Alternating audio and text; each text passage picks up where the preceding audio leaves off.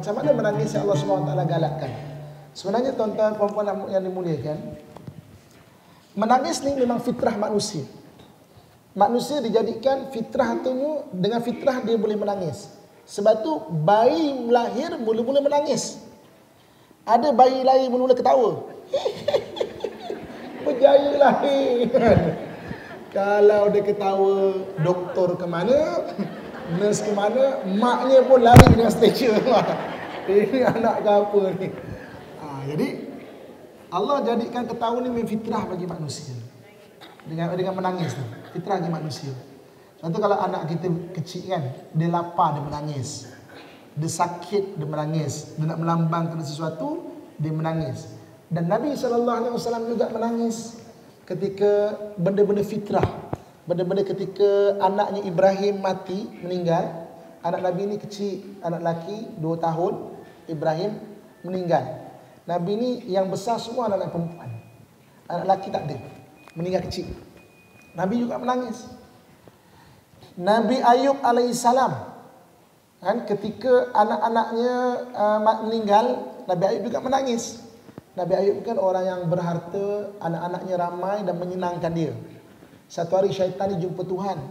Ya Allah, Ayub ni bolehlah dia tak pada engkau. Dia senang, dia orang kaya. Cuba dia miskin, cuba dia sakit. Naknya ke dia ibadah dengan engkau? Maka Allah kata Ayub ni orang yang soleh. Tuhan izinkan aku porak-perandakan hidup Ayub.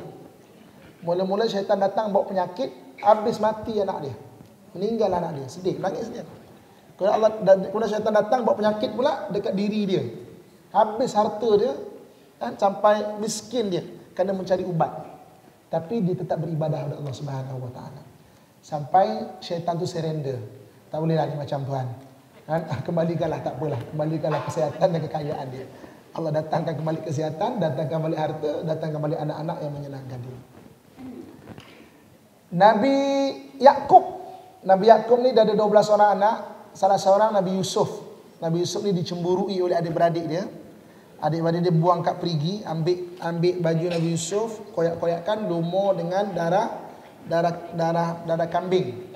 Kemudian bawa balik ke ayah dia, ayah, adik kami kena makan serigala. Nangis Nabi Yusuf, Nabi Nabi Yakub sampai merah-merah mata baginda. Jadi maknanya nangis merupakan fitrah.